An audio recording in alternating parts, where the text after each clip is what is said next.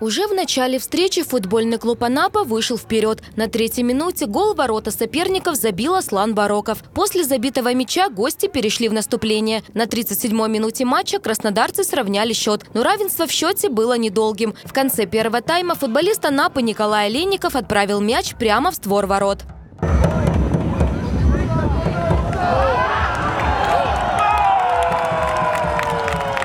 На 74-й минуте матча Никита Саркисов увеличил отрыв от соперников до двух мячей. Гости пытались атаковать, но свой шанс не использовали. В конце второго тайма капитан анапской команды Жулмандин Каратляшев точным ударом установил окончательный счет 4-1. После девятого тура футбольный клуб «Анапа» занимает лидирующее место в турнирной таблице чемпионата Краснодарского края. Следующий футбольный матч состоится 20 июня. Анапчане сойдутся на поле с командой «Кубань-3».